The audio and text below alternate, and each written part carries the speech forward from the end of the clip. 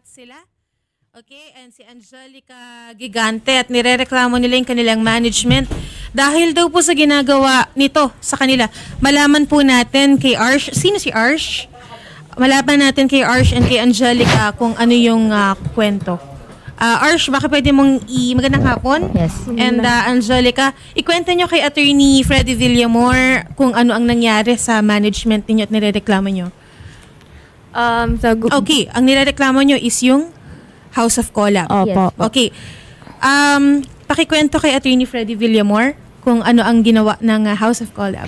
Ah, ah, lumapit po talaga kami dito eh. First is yung mistreatment po nila sa amin bilang content creator nila and yung mga ah, pinapagawa po nila sa amin na hindi po nasusuklian kung ano po yung tinatrabaho namin sa management po mismo. And bilang content creator po yung paggawa po namin ng contents is ah, hindi din po biro and malalaking brands din po yung mga hawak nila. And pinangako po namin ay pinangako po nila sa amin na yung mga brands na yon is mababayaran kami which is hindi po kami nakakatanggap ng kahit ano po sa sa kanila na pera po wala po. Iha, may kanya-kanya kayong kontrata?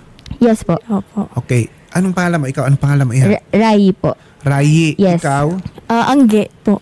Ha? Angge. Angelica. Ikaw? Angelica. Gail po. So, mag, i- tag- iba-iba kayong kontrata pero nakipagkontrata kayo sa isang kumpanya. Yes, Yes. Ano po. yung company na yon? Yung The House of Collab House po. of Collab. Pare-pareho ba ang terms and conditions ng kontrata nyo? Pare-pareho kayo? Pare-parehas naman po. Pare-pareho kayo. Okay. Ano, doon sa kontrata nyo, ano ang dapat yung matanggap? Anong dapat yung gawin? Ah, bali po kasi may mga deliverables po kami doon Okay. na na mga sa brands po. Like mga malalaking brands po siya kagaya po ng Vans, ah Guess, mga Mm. Dikes ganun. And ah ang kay ang kailangan kailangan po namin gumawa ng content para sa brand. Mm. And yung brand po na yon is ah ah, nagbibigay po sila sa ay nagbibigay po sila sa management ng deliverables na kailangan gawin ng content creator. Then kami kailangan po namin siyang gawin. So, Pero- nako-comply nyo naman yon. Opo.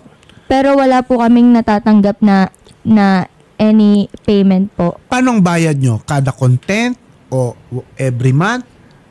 Every week? Pa- Paano ang bayad sa inyo? Ah, meron po kaming allowance na natatanggap sa kanila every month which is 5,000 pesos. Okay. And bilang content creator, hindi hindi nga po biro ang paggawa ng content and napakalaking brands nun. Hindi po enough yung 5K yung po na cost yun. ng content kayo ang nagsushoulder nun. Hindi yun nare-reimburse.